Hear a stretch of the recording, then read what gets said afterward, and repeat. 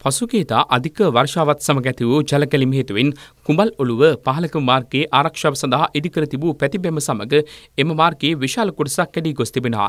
එම නිසා මාර්ගයේ වාහන ගමනාගමනයටද බාධා එල්ල වුණා. ප්‍රදේශයේ පවුල් විශාල ප්‍රමාණයක් තම දෛනික කටයුතු සඳහා මෙම මාර්ගය භාවිත කිරීම හේතුවෙන් කඩිනමින් ඒ පිළිසකර කිරීම ආරම්භ කෙරුණා. ඒ මීරිගම ප්‍රාදේශීය සභාවේ මූලිකත්වයෙන් මේ යටතේ එහි පැතිබැම්මද කොන්ක්‍රීට් යොදා අලුතින් ඉදිකිරීමට මීරිගම ප්‍රාදේශීය සභාව කටයුතු කළා. මාර්ගය පිළිසකර කිරීම පිළිබඳ ප්‍රදේශවාසීන් රජයට ප්‍රසාදය පළ කරනවා.